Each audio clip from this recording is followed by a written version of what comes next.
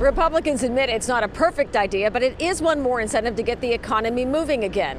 And with the state set to fully reopen this weekend, small business owners and restaurant owners need all the help they can get. Seasonal businesses, small businesses right now are having a real hard time finding people to employ. Republicans on Beacon Hill are trying to make going back to work as attractive as staying on the unemployment rolls and are now proposing a $1,200 bonus spread out over 12 months. Anyone who comes off unemployment by August 7th would qualify. They'd get a $400 signing bonus for going back to work. They'd get another 400 after 6 months. The final 400 after 1 year. We designed it this way from July 1st till August 7th to incentivize people not only to go back to work, but to stay employed. In the restaurant industry, health concerns, restricted business, and wage insecurity have made many employees reluctant to re enter the workforce, especially with state and federal guaranteed unemployment. If you're job seeking, there are better jobs in hospitality now than there have ever been. Restaurateur Chris Coombs applauds any bonus to help bring workers back,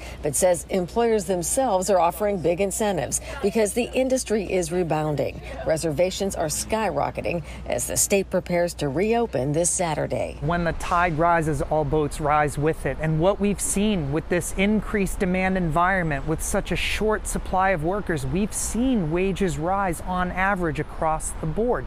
Now, the bonus pay will be debated next week as part of the new budget. It could face an uphill battle on Beacon Hill because of the Democrat controlled legislature. If approved, though, it would be paid for with funds from President Biden's American Rescue Plan.